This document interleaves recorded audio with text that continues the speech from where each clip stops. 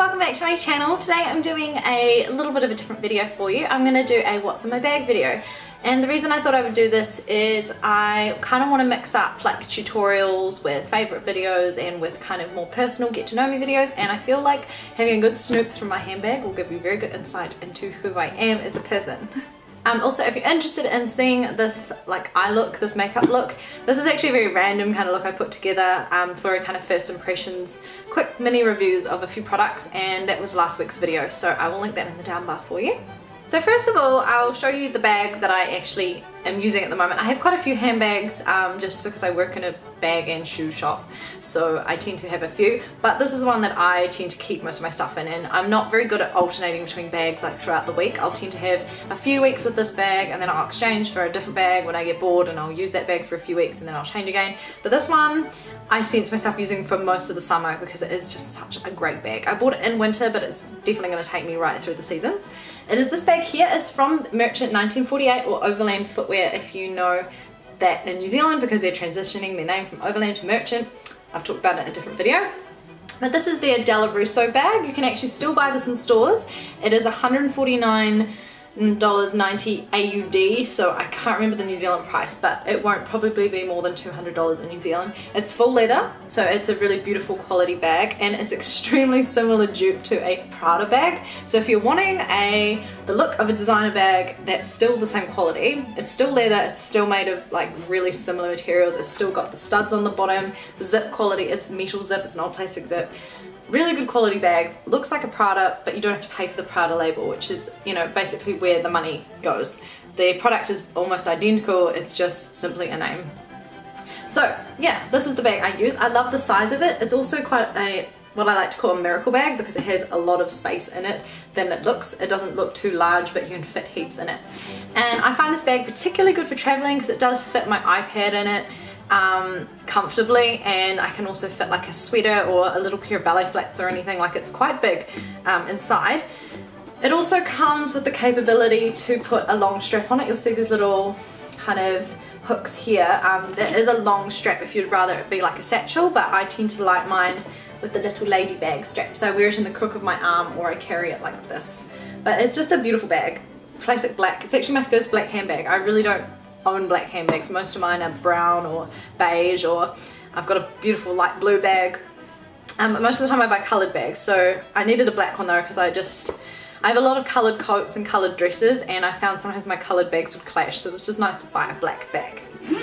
Right, so inside, um, I haven't really changed this for you guys, like some of it might be a bit random because I haven't like, it's not like one of those what's in your bags where I've like planned what to show you, I've just simply grabbed my bag after being out um, earlier today and I'll show you what's inside. So the first thing I can see, oh this is kind of like what the inside looks like. It's got light coloured lining and the lining feels really silky smooth. Like I'm not sure what the type of material is. It's not a satin, but it's like a cotton that's got a real sort of satiny feel to it. Um, so it's very luxurious. I have a pair of sunglasses. I always usually have a pair of sunnies in my bag. Um, this one here is just a pair of really old ones from Equip.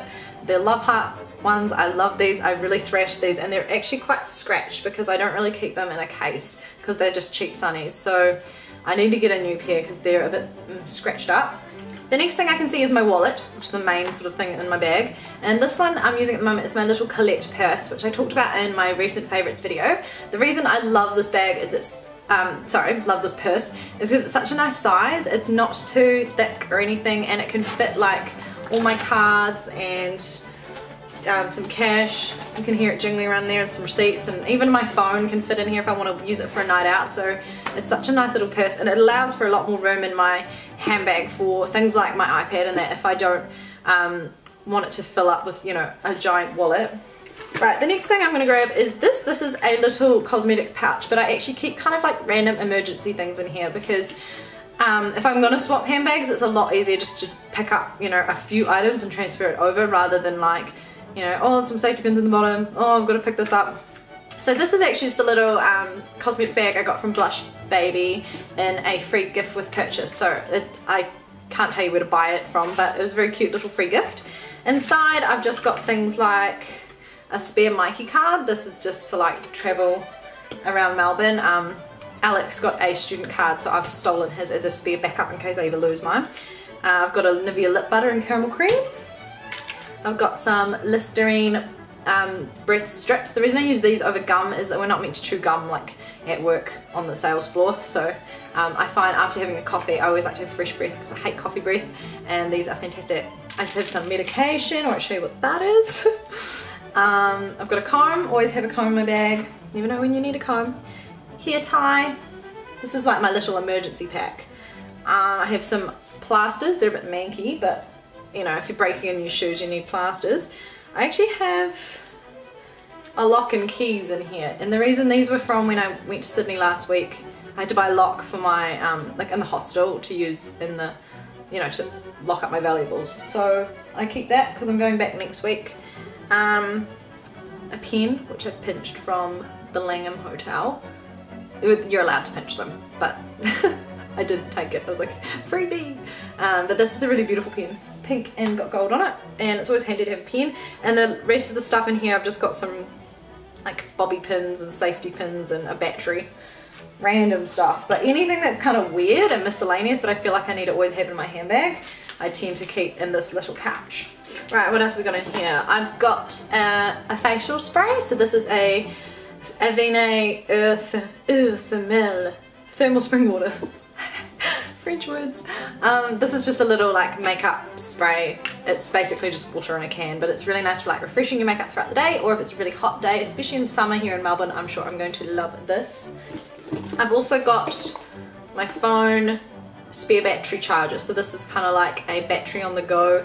Um, my phone always dies because I'm always on Instagram and taking photos and I just use my phone a lot while I'm out and I'm sick of having my charger with me, my actual charger, but always having to try and find a power outlet. Like if I'm at the mall, I don't really want to like go over to a random power outlet and stand there and charge my phone. I can plug this in while I'm still around. It just sits in my handbag with the cord and I can still use my phone.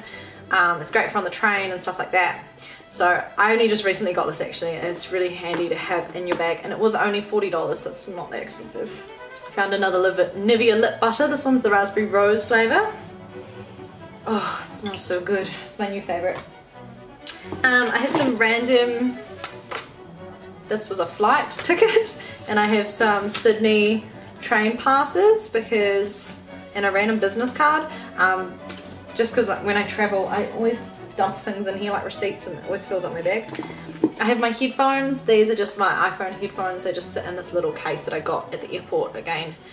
Um, it's really adorable. It's like a little sunglass case but for your headphones. It's really, really cute.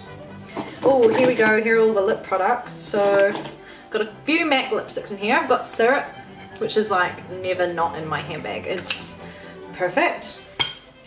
I have Twig, which is another sort of everyday favourite. It's a really nice one to have in your bag because if you forget to put lip product on before you run out the door, a neutral lipstick in your handbag is really helpful to have because it'll go with everything. Oh, I have my new favourite at the moment. This is Kelly Yum Yum from the Osbourne collection. Oh, so bright. I'm actually going to do a tutorial featuring this lipstick very soon, so look out for that one. And I have my Lime Crime Red Velvet. This doesn't normally live in my handbag, but I've used it recently and it often ends its way back up in here and I always have to take it out and put it back in my drawer. Because it's not something that I tend to just throw on if I'm needing to quickly put on a lip colour, but I do wear it a lot so it doesn't end up in here. And then I just have my keys as well, which has like my pass to my apartment building and my work keys and everything like that. So it's pretty much it. The last thing I have is my iPhone 5. And this is just a pretty case I got from Forever New. Um, yeah, so that's it pretty much. Actually, I didn't have too much junk in here like I thought. I thought I would have a lot more like receipts. I just had basically the airport stuff I didn't want in there.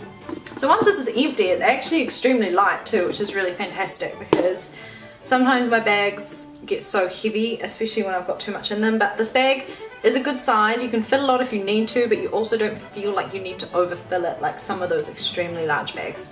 So now I'm just putting everything back in. Um, the reason my bag also I think stays pretty tidy most of the time is I do tend to clean it out every like two weeks. So for example, I'm not going to put these receipts, um, these like ticket stubs back in because they don't need to belong there. All these lip products, can go back except syrup. I will keep syrup in the bag because he's handy to have in there. Oh, actually, I realized something because I was using this for my tutorial before. This actually is always in my bag. It's my little like Beauty and the Beast hand mirror, which was also a gift, um, gift with purchase from Blush Baby.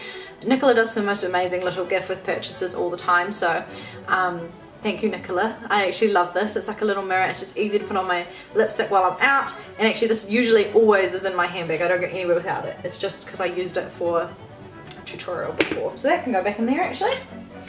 And I'll pop my charger in, my keys, this lip butter, and my little things. That's good. So that's basically it. I hope you guys enjoyed having a little peek inside my handbag. If there's any other sort of part of my life you want to know about or have a snoop through like my closet or anything like that just let me know and I can show you. But until next time I hope you guys have a great week and I'll see you later. Bye